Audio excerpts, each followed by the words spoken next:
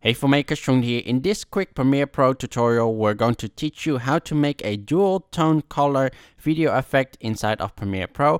This is a quite nice effect to make a more interesting background for inside of your intro or your title card.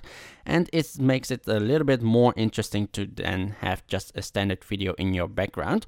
So let's actually start because this is quite easy to do. And I've already got a clip on the timeline. This is from my trip to Istanbul. This is just a video of the skyline here. And the effect that we are going to use is tint. So go to effects, type in tint and you'll find it under video effects, color correction, and then you will find effect tint.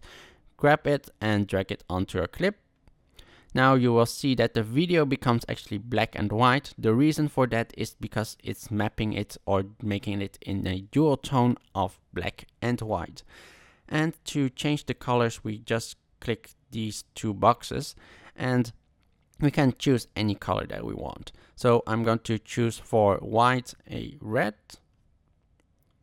and for the black I choose a blue here and then here make it a slightly darker blue and press OK. So now we have this color effect, this duotone color. So you can actually choose any colors that you want. You do want to have a little bit of a contrast between them so that you can see like one is darker and one is brighter, especially for the black to be like a darker color.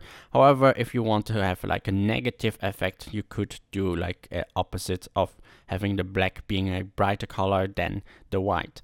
So that was main it. Hope you guys found this a very useful video. If you are new to this channel and want to see more upcoming videos please hit that subscribe button here below. Also make sure to hit that bell icon so you're always updated when i post a new video. Thank you guys for watching and i'll see you the next time. Bye bye